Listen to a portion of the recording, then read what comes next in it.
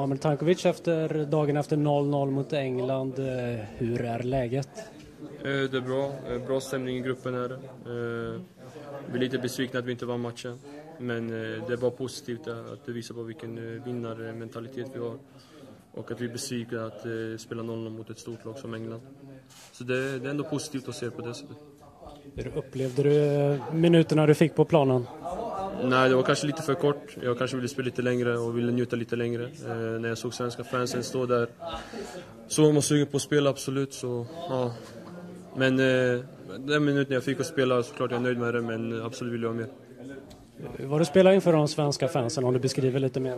Nej, det var fantastiskt att se dem där och stå och skrika och heja på oss. Det var fantastiskt bra att se Eh, att de hejar på oss och pushar på oss. Och, så det betyder bara allt stöd som, som det går att få och vi är så tacksamma för det. Du pratade om att du ville spela mer, vilket är förståeligt, det vill väl alla, men du var den enda spelaren som, från genrepet som eh, fick sitta på bänken igår av de som startade där. Hur ser du på det? Nej, det är ett beslut Håkan måste ta. Eh, och han kanske tyckte att vi behövde göra lite mer eh, defensivt eh, bättre än vad vi gjorde i genomrepet. Och så tyckte han att jag kanske inte gjorde lika bra defensivt som jag gjorde offensivt. Och så bytte han in Fransson istället, som gör det kanske bättre defensivt än...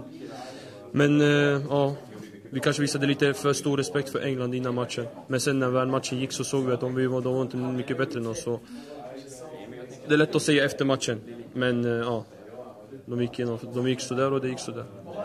Köper du förklaringen och motiveringen du fick då? Ja, alltså det, alla har sina åsikter och han är ju tränare såklart så det är han som gör sina beslut. Så jag, klart jag köper det. Men jag, klart jag är besviken också. För varenda fotbollsspelare är besviken om han inte spelar. Med facit i hand då, när vi vet hur England var, tror du att dina egenskaper hade kommit bra till rätta mot dem? Absolut, det tror jag. När jag såg på matchen så var det, fanns det jättemycket ytor mellan eh, backlinje och mittfältare. Och det är perfekt för mig att vända upp där och attackera framåt. För jag är en spelare som går framåt hela tiden framför mål. Så jag tror verkligen att det hade skapat mycket. Men det är lätt att snacka efter matchen också. Men ja, det är bara att se framåt nu. Det som har hänt har hänt. 0-0 mot England, bra resultat. Nu är det fokus på Polen. Håkan berättade efter matchen att eh, han var lite orolig på din matchform. Då. Hur ser du själv på matchformen? Eh, sa han det eller sa du det? Han sa. Eh, matchformen är inga problem. Jag, jag, jag känner mig fräsch och pigg så det är inga problem. Hur ser du på möjligheterna att slå sig in i startelvan i nästa match då?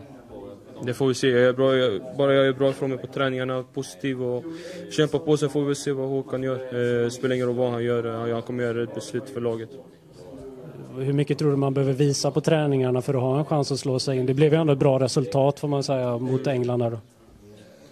Ja, jag vet inte. Alltså, det är en svår fråga faktiskt. Eh, jag kan, jag, kan göra, jag kan inte göra så mycket i och för sig. Alltså jag, jag kan göra mitt bästa på träningarna och vara positiv utanför plan och allt det möjliga. Men sen är det ju Håkans beslut att göra där, vilken spelare han vill spela med. Så det är upp till honom. Liksom.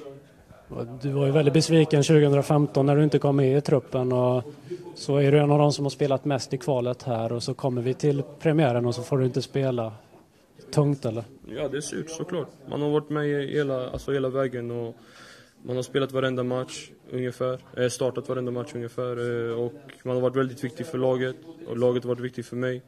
Och sen nu när det väl gäller så är man på bänken, såklart det är surt. Det, om, om, jag ska inte vara glad. Det, om jag är glad då är det någonting sjukt problem med mig. Liksom. Jag kan inte vara glad att sitta på bänken, det är ingen fotbollsspelare kan vara liksom. Men ja, sånt händer, vad ska man göra? Vi hoppas på att du får starta då, att du får lite mer speltid som du vill ha i nästa match. Ja, det får jag hoppas på. Lycka till! Tack!